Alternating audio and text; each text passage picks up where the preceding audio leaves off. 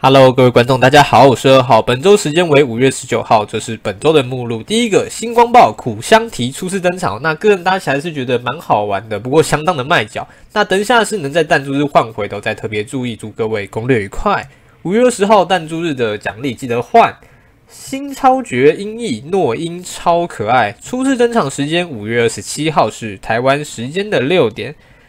竞技二十六到三十 B 加开，说实话，我是没有想到这次二十六跟三十 B 会这么快就加开哦。个人觉得以正攻的部分来说呢，二十六跟二十八还是相对有难度的关卡。如果这次二十六 B、二十八 B 稍微比较简单，或是给玩家另外一个选择是对玩家来说是好事。然后三十 A 目前好像的全部都是限定，如果三十 B 可以让一些普角有机会上场的话，我觉得是还不错的。那我猜这次的加开呢，会多一个新一叉关。目前竞技一叉就缺木属性没有咯，所以我猜一叉可能会做给二十八 B 哦。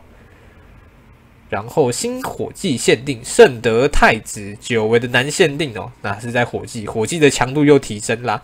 那我们来看能力，能力呢？贯通速度型、超反伤、反传、超扫雷 L，那有针嘛？活力杀手 N 冲刺。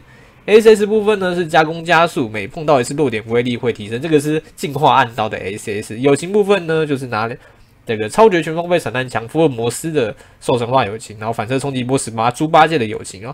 机体来说相当的不错，有三反，然后超扫雷者给到 L，还能搭配活力杀手 N，所以只有前置之下。如果吃到活力杀手 N 会有五倍的增伤，那吃到超反伤最高就是六点五倍哦。先不看超反伤，五倍的增伤个人觉得 OK，打一些需要攻击力门槛的怪会很强哦。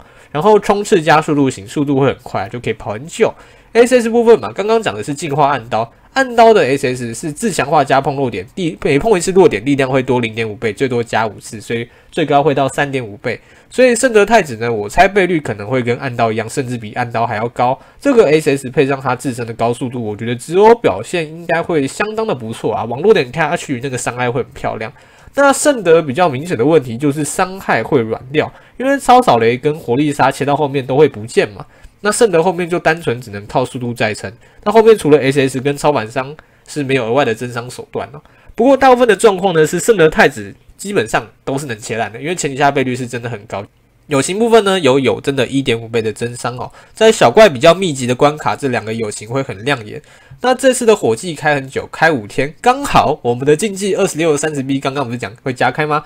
又很刚好，现在竞技只剩下木一叉还没出，所以圣德太子好像有机会捡到二十八 B。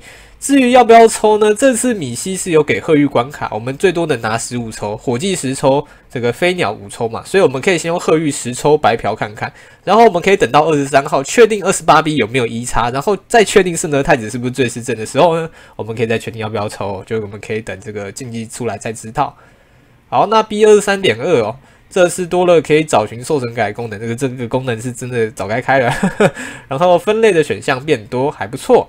然后我们的礼霸变成这个绝级淘汰赛哦，五月二十六号到六月六号，游玩方式呢是我们要打绝级关卡，打赢就能进下一 round 哦。那这些绝级关卡是官方决定的，目前是大家统一。不过晋级的绝级对手目前不确定是不是也是一样的哦。那有分预赛跟本战哦，预赛跟本战共八关，预赛打完才能打本仗啊。打输的话呢，我们是可以再次挑战的，这边可以再次挑战，但不确定能不能喝水。然后你挑战的这个绝级啊，所持的运气数越高，它弃权的几率也就越大，所以是变相鼓励大家叠超爆绝。以下是报酬，三十颗宝珠不多不少。然后要把正式比赛全破，我们下个月的霸塔才能直接从二十九楼开始打。正式比赛全破之后啊，这边免除预赛的奖励，所以我们五月把正式比赛全破，我们六月就可以不用打预赛，只要打后面的正式比赛的四关。那搞不好会碰到弃权啊，所以最多。就是应该说最少我们只要打一关就好。如果你运气够好的话，打一关拿三十这件事是有可能发生的。然后下面的勋章是你在正式比赛都没死过就能得到这个勋章。那勋章中间数字是可以累积的。哦然后再补充哦，绝技锦标赛会根据你打赢的次数越多，之后会出现更加高难度的关卡。所以之后没意外会有轰绝，这点再特别注意哦。那讲一下我对这次绝级淘汰赛的感想。目前看下来，我觉得第一个月努力打完八关绝级，下个月打正式比赛四关就能拿到三十株，个人觉得是还不错的。